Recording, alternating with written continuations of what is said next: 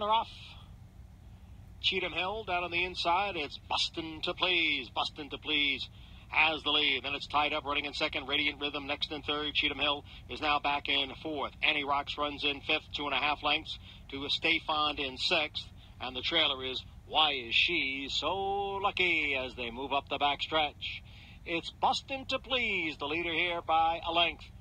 On the outside is a tied up. On the inside, it's Radiant Rhythm. So the entry is 2 3. Cheatham Hill is a close fourth after an opening quarter mile in the slop in 22 seconds. They go around the far turn.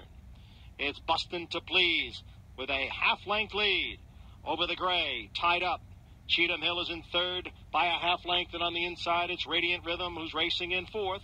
Farther back, Annie Rocks in fifth, and Why Is She So Lucky? And Stay Fond. The half was running 45 and two fifth seconds. Here's tied up now to challenge for the lead, and here's tied up now to take the lead from uh, Bustin to Please. Tied up, Bustin to Please, coming back again on the inside, and the two of them are right together as they hit the 16th pole. Tied up, now clear. Tied up in front, Bustin to Please second, and it will be tied up to take it by two.